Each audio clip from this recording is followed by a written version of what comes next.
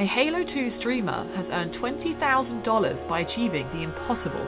YouTuber Cr1tikal posted a bounty to YouTube in late June, challenging the world to beat a modified deathless LASO run of Halo 2 for a $5,000 reward. The brutal challenge required players to tackle Halo 2's notorious legendary difficulty with all skulls on, which include disabling the aim reticle and making enemies invisible. Cr1tikal upped the ante by removing Envy, which allows players to be invisible when Chief's flashlight is on, only skull that is beneficial to players. A month later, the challenge lay unbeaten, and Cr1tikal upped the bounty to $20,000. Finally, Jervalin, a Halo 2 speedrunner who last year cleared a standard LASO run, took the prize in a six and a half hour stream, becoming the first person in Halo 2's 18 year history to complete the challenge, stating, I felt like it wouldn't have been right if it wasn't me.